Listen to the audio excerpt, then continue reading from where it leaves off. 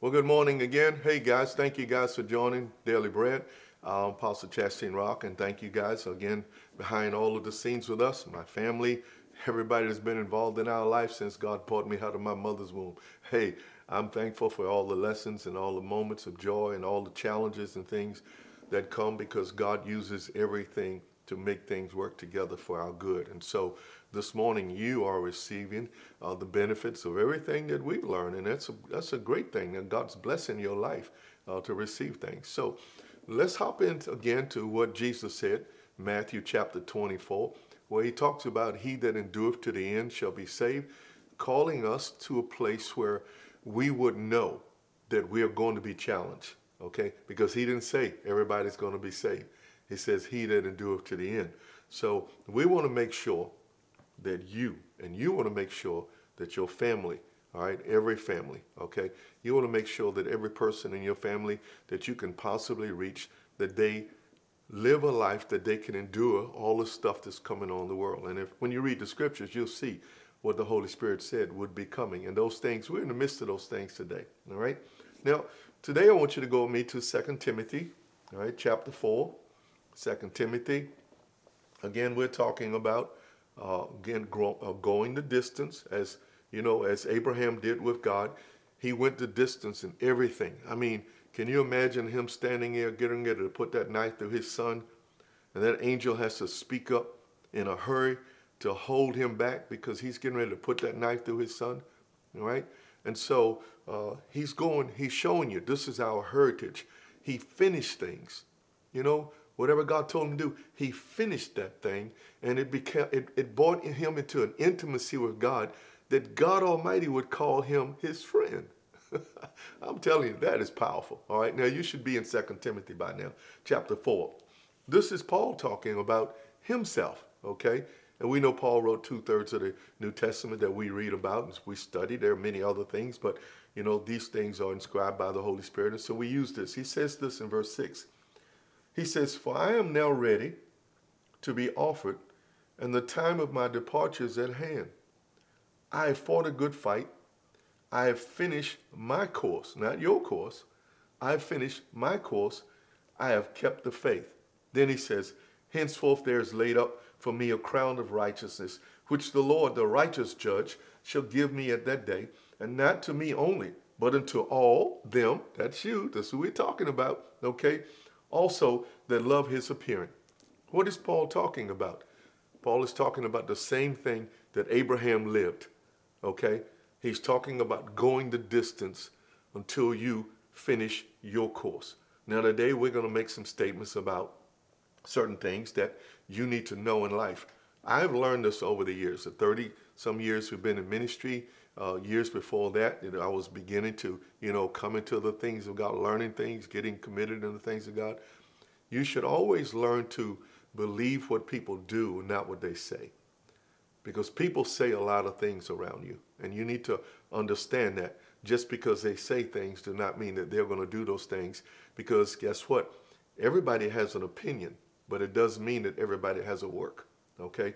Fruit is always something that's done. In other words, it's something that is completed by the root system in the tree. Okay? It's done. When that apple comes forth, what that root system started to doing, it is complete.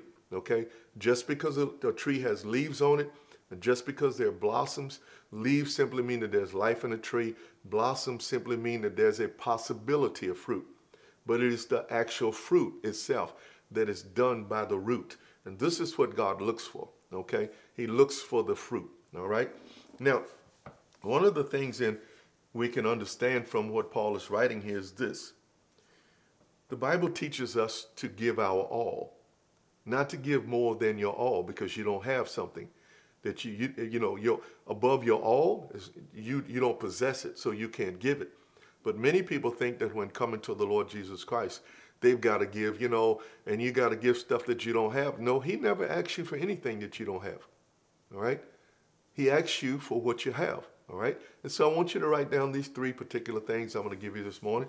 This is going to help you again with increasing your faith this week because Again, you want to endure. You want to see the Lord Jesus Christ. You want to live, you know, in glory and come back to the earth and reign and rule with our King, our Messiah. You want to be able to do all these things. Well, guess what? Some people want to do those things that are missing the mark because guess what? They're not going the distance. They're not living to go the distance, okay? Not to go to the distance with Jesus, okay?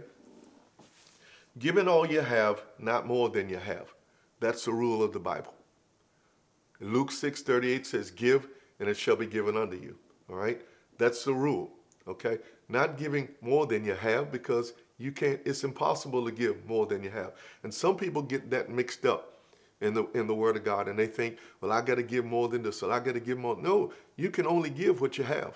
You can only give what you have. And this is what Paul is saying. He's saying, listen, I fought a good fight. All right? I fought a good fight. I've finished my course. I've kept the faith. He couldn't keep anything that he didn't have. He couldn't give anything that he didn't have. He couldn't promise somebody something that he didn't possess. Okay? And so God wants us to give what we have. What do you have that you can give? Okay? You can give your time, and he didn't say you had to give all 24 hours, but there is time that you should allot and prioritize toward the Lord. Okay? The next thing you need to do is this you need to work with determination, not waiting on destiny. Say what? Please listen to me. Work with determination, not waiting on destiny. You should work today like you've got a hundred years to live. But work like today could be your last day. All right? This is the thought in working. Okay? See, you don't rely on luck. We don't rely on fate. We don't rely on even the destiny of our success. What we really rely on is knowing that there's no time to quit. No time to quit. All right?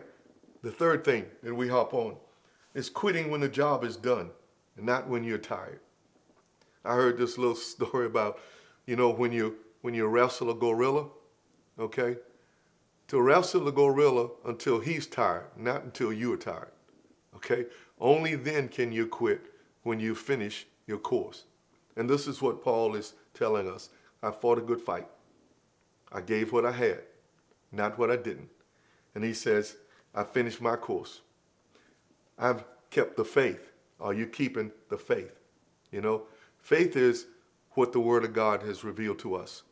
That's a big thing that the enemy always tries to get us to substitute something for. He did it with Eve. He tried to do it with Jesus.